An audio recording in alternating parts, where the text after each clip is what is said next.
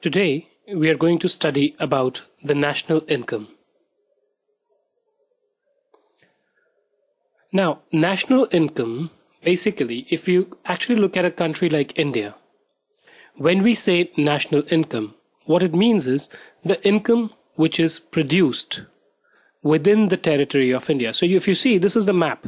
So if you are sitting anywhere in India, this place, this place, this place, this place, and you are producing any of the goods or services,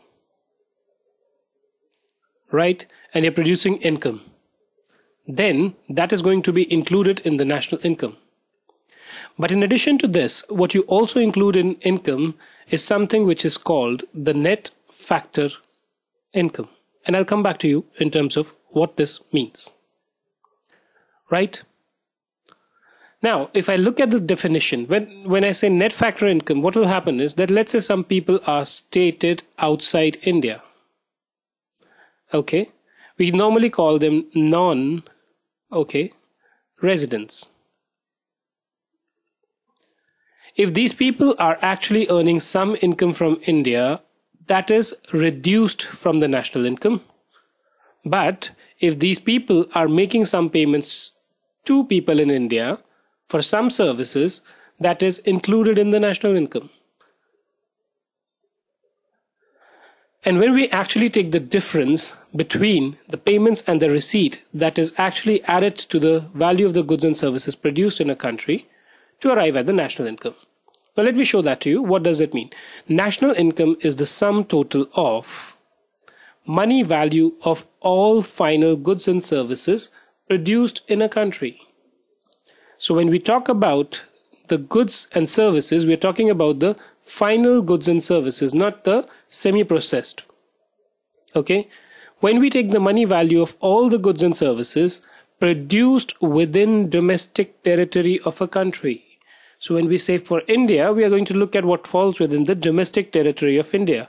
We will not include anything which is including in China or in Bangladesh or any other place only the domestic territory of India in an accounting year. Now, it has to be a concept, it has to be for a particular period, and therefore it has to be taken in an accounting year.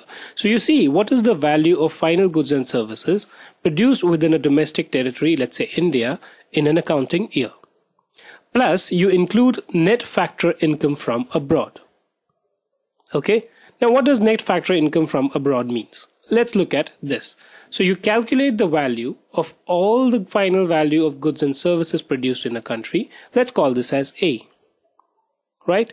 And to that you add net factor income from abroad. Now let's see what does the net factor income from abroad means. Net factor income. Okay, first let's look at what does factor income mean. Income are the rewards received by the owners of factor of productions. Now we know there are four factor of production which are there, right? which is land, labor, capital, and entrepreneur. Right? So what we do is for each of these factors of production, we know there is a cost. The labor gets compensated in the form of employee compensation. Land, whosoever owns the land charges rent for it, right? Capital, if I lend you my capital, I will give you interest and entrepreneur gets the profit. So what I do here is very simple. I consider who are the residents of India? Okay, residents of India. If they receive any of these four payments, that is added to the national income. And why it should not be, right? If I am living in India, okay, I'm living somewhere over here, anywhere over here, I receive some money from a person. From Indian perspective, it's an income. So I add it down to my national income. So can I put it at receipt for factor income? Receipt or factor income. And then what I do is, like I said, if I'm a resident over here and I make a payment, okay, when I make a payment, what happens? Payment for what? Payment for any of these four items. Payment for the use of factor of production. That is going to reduce my income just like an individual. There's no difference. I mean, we are dealing over here in a country, but it's just like an individual. Payments for factor income. When you do a sum total of all this, you get national income. Right?